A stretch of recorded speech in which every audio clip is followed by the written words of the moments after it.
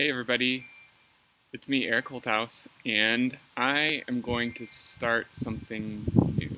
Uh, crowdsourced, crowd-funded climate journalism.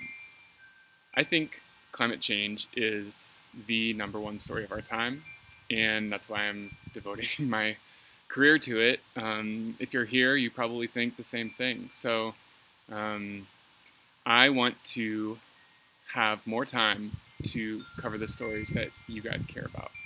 And to do that, um, starting a daily newsletter that's free um, and a uh, daily, um, multiple times daily um, uh, protected Twitter feed uh, where you guys will be able to interact with me.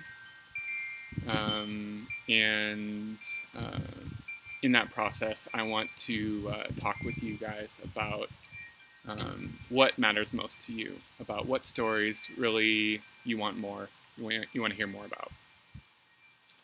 Um, I'm gonna do a, a um, companion uh, podcast to tell the story of this process, um, and um, have monthly hangouts with you guys to uh, to decide what it is that I focus on. What's the next big story that you want me to tell.